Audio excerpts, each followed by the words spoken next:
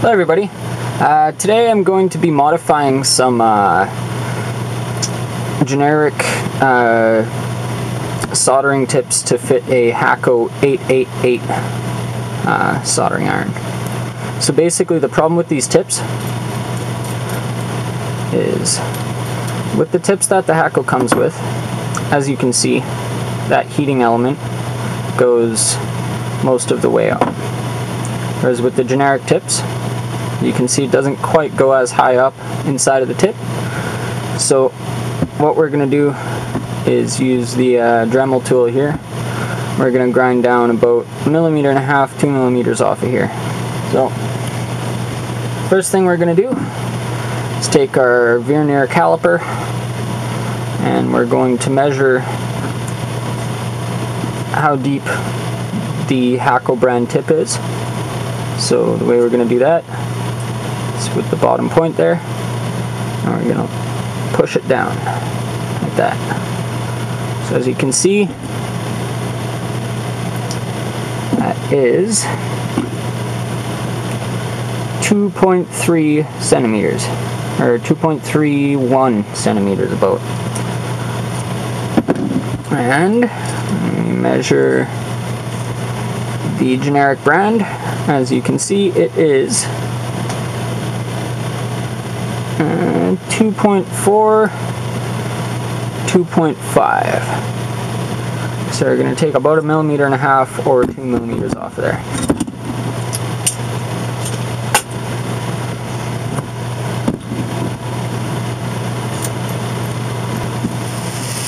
As you may be able to see, I'm rotating the bit of my fingers as I go along here.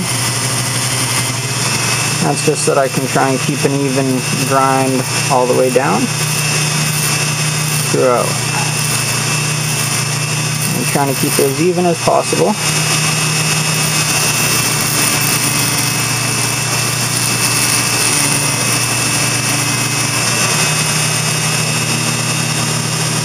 And if you can see there, looks like we got about a millimeter off, maybe a millimeter and a half. So stop the Dremel tool here and we'll take a moment to measure that.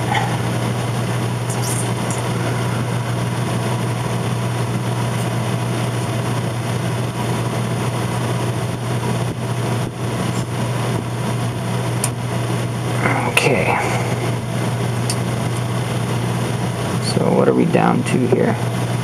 We are down to 2.4, so it looks like we took about 0.7 of a millimeter off.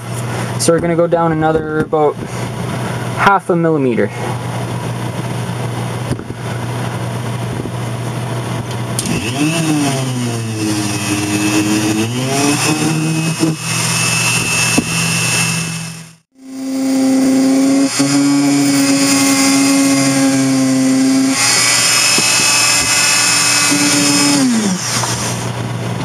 Okay.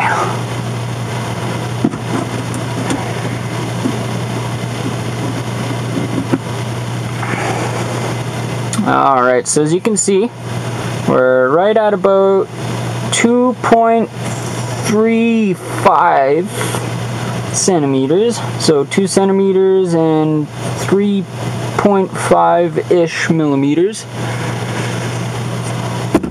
And we're just gonna take one moment here. Grab a little piece of fine sandpaper. Fix up those edges real quick. Now we're gonna pop this in the uh, in the soldering iron and see how it fits.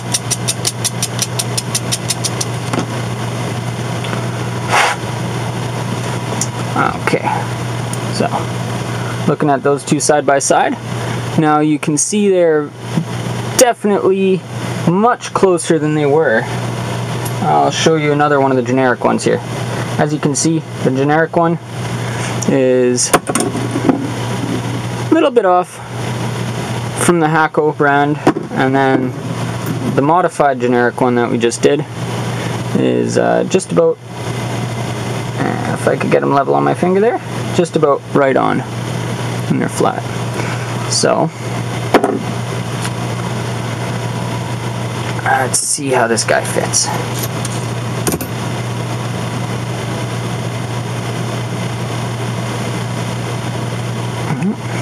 Might actually have to go there, go through there real quick with a uh, needle file.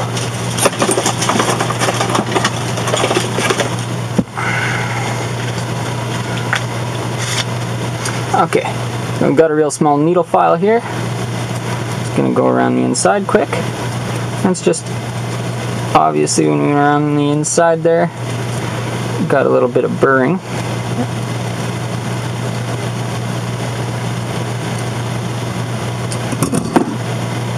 There we go. Slides on nicely.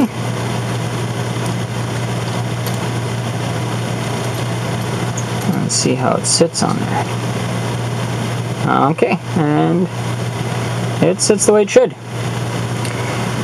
So, I will uh, actually make a video likely comparing the two, just to uh, demonstrate that the, the modified ones do work a little bit better. Um, the reason being is uh, if, if the tip is a little bit longer than the heating element, naturally you'll have a, a gap at the end. Um, and that gap is just going to be air inside of there and air does not hold or conduct heat as well as metal um, so obviously if you shave it down heating element is right up against the metal and that improves the efficiency of your tip uh, so if you bought some generic tips and they're not sitting quite right on your soldering iron and they're not uh, they're not transferring heat as well as you think maybe they should this could be a pretty quick fix for that. Thanks